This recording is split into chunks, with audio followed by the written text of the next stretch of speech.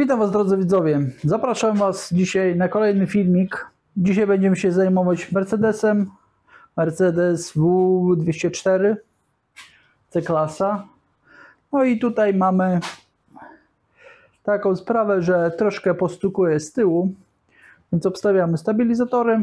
Zaraz pójdziemy to sprawdzić, tak czy nie, ale raczej tak, bo się już przyjechałem i ewidentnie z tyłu stukają łączniki, więc dzisiaj je wymienimy, żeby komfort jazdy nam powrócił. Także zapraszam Was serdecznie do obejrzenia. Dawajcie znać w komentarzu, co sądzicie, a ja przebieram się i zabieram się za robotę. Będziemy się zabierać za nasz Mercedesik. Muszę zdjąć koła i zobaczymy nasze stabilizatory, w jakim są stanie. No i oczywiście wymienimy je. Oto nasze stabilizatorki. Nie wyglądają jakoś strasznie. Widać, że są nie nowe. Tutaj na dole jest bardziej widoczna ta guma jest trochę wyrobiona. Tu będzie widać. Mam nadzieję, że jak wyjmę, to Wam bardziej pokażę. E, sprawdziłem. Zawieszenie jest w miarę sztywne. Wszystkie te gumki, choć i stare, ale nigdzie takiego jakiegoś strachu nie ma. Stuku nie słyszę, ale w tym przypadku obstawiam, że dolny, na dole się wyrobiła ta e, guma i tam na dole stuka. Nie wiem, czy dam radę Wam pokazać. Jak ją podważyłem, jest bardzo duży tam luz. Więc wymieniamy. A na początku tradycyjnie trzeba wszystko spryskać. Jeśli gdzieś gwinty wystają, no tutaj na przykład prawie go nie ma, ale szczotką drucianą ewentualnie przetrzeć i będziemy odkręcać. Tu u góry jeden i tu u dołu drugi. Tutaj wystaje bardziej, tutaj trzeba się przyłożyć, bo inaczej nam się urwie i będzie problem. Sama śruba ósemka nie za duża jak ten stabilizator. Zabieramy się za robotę. No i tak, spryskane, wyczyszczone i co będziemy potrzebować? Tu u góry, tu nakrętkę mamy 16, tu ewentualnie, żeby przytrzymać, będzie nam potrzebne 22 i to raczej w każdym zestawie znajdziecie takie klucze.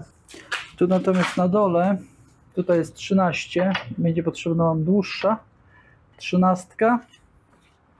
Tak, tak. O. No ale z drugiej strony potrzebna będzie Wam nasadeczka E12, czyli 5 gwiazd, 6 gwiazdkowe, tak. Bo Mercedes lubi stosować specjalne śruby. Tutaj mamy na przykład M-ki, a już tutaj mamy właśnie te E. Także jedyne co specjalnie będzie potrzebować to, żeby w zestawie były takie nasadki. Dobra, będziemy próbować odkręcić. Udało mi się odkręcić.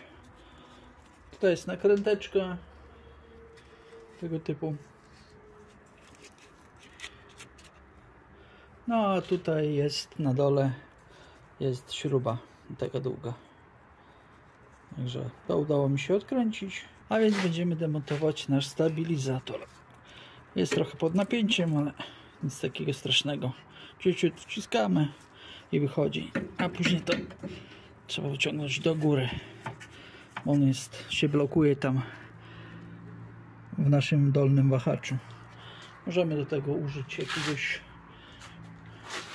przyrządu, który nam pomoże to wyjąć, ale już teraz widzimy, że na dole tam jest lust niezły.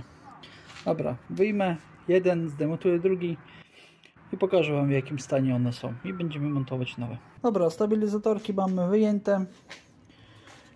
Nowe są gotowe. Sprawdzamy czy pasują. One są przeznaczone na konkretną stronę.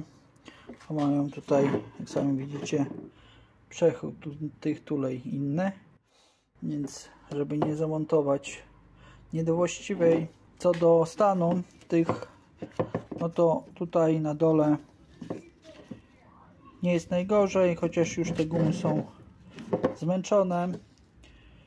E, najgorzej to było chyba tutaj prawy stabilizator, bo tutaj jest taki olus. Mam nadzieję, że widzicie. Na tym drugim tego luzu praktycznie nie ma, jest mniejszy, ale też już jest. Na nowym go w ogóle nie ma. Nie ma. Nie ma. Więc to jest nasza przyczyna naszego latania i stukania. Dobra, wkładamy z powrotem nowe. No i stabilizatorek mamy, w zasadzie łącznik stabilizatora mamy zamontowany, przykręcony. Także jeszcze mi została druga strona i tu będziemy mieć spokój. Co ja chciałem jeszcze jedną kwestię poruszyć. Kwestię śrub. Najlepiej oczywiście dawać przy każdej wymianie nowe. Nie zawsze w każdym zestawie jest, więc jeśli będziemy wkładać stare śruby, to dwie kwestie, które ja robię, Wam przekażę. No, a Wy już decydujcie, czy robić tak, czy nie. Przede wszystkim, na pewno trzeba wszystko wyczyścić szczotką, gwint, żeby żadnego brudu nie było przed włożeniem, przykręceniem. Druga sprawa, co do smarowania. Ja w zasadzie gwintu nigdy nie smaruję. Inaczej. Tutaj mamy śrubę, która jest gwintowana po całości. W tym przypadku częściowo gwint posmaruję, ale już przekazuję Wam informację, jak ja to robię. Jeśli mam śruby tego typu, gdzie śruba przechodzi przez coś, to w miejscu, gdzie ona przez coś przechodzi, bądź to przez aluminium, tulejkę, czy tak co innego, ja zawsze smaruję.